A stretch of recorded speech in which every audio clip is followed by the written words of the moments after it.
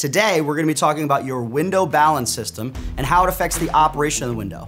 Maybe you're having trouble opening the window, or maybe the window is having difficulty staying open. My name is Michael DiMartino, and I've been in the remodeling and home improvement industry for 20 years. I've also been featured on Realtor.com and BobVila.com as a home expert. All right, let's have a look. Your balance system is of the utmost importance to the operation of your window. Let's say it is a beautiful spring or autumn day and you want some fresh air in your home. You go to lift your window and it falls right back down. We call that the guillotine window. It, prevents, it presents a multitude of problems here. Number one, uh, I just bumped my top sash. When the interlocks hit, I bumped my top sash down.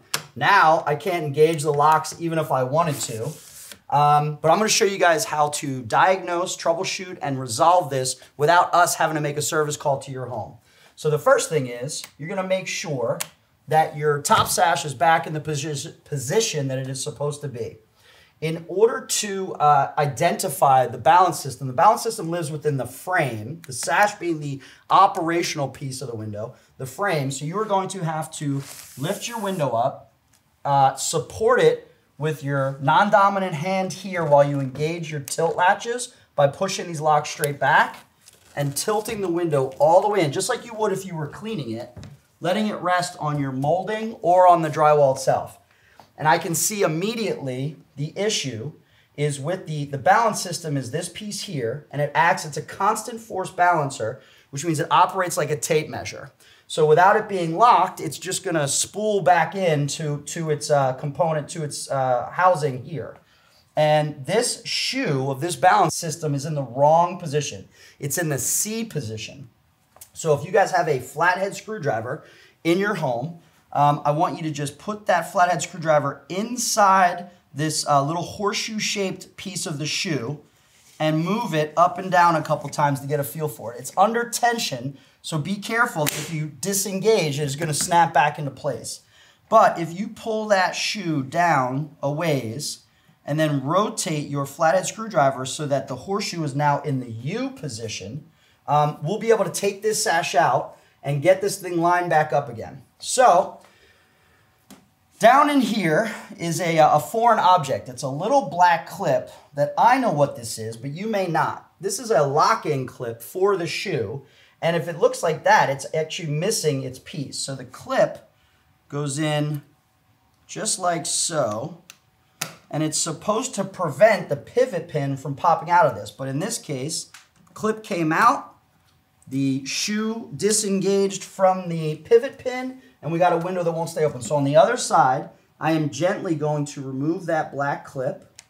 I say gently because in the cold weather, these pieces can get brittle. We don't want you to break them. And in order to remove a sash, it has to be parallel to the floor. So now it is a perfect 90 degree angle to the frame. I just twist, and that is your pivot pin right there. There's one on either side, and that is the piece that sits inside of the shoe. Now what I want to do is take my flathead screwdriver again. I want to make sure that this shoe is roughly on the same plane as the shoe on the other side. So again, I'm going to engage it into the C position by rotating it, pull it down to where it is at approximately the same position as its counterpart on the other side. Pick up my sash. I'm going to put the pivot pin, drop it back into the U, so give it a little bit of an angle so you can fit it inside the frame. And you should feel it sit inside that U with relative ease. Before I put my black clips back in, I like to just make sure that this thing is now operational. The black clips don't really play a part in the operation of the window. It's more just a security feature. Bend that back down. The black clip has a little flexible piece right there. This is the piece that locks into the bottom. So I'm gonna put this one back in over here like so. You'll hear it click into the shoe like so.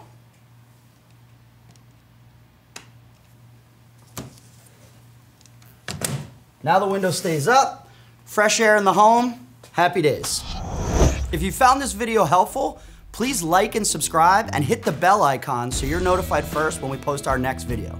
If there are any lingering issues that are unresolved, don't hesitate to call us at 888 Remodel or visit our website at powerhrg.com. Thanks for watching.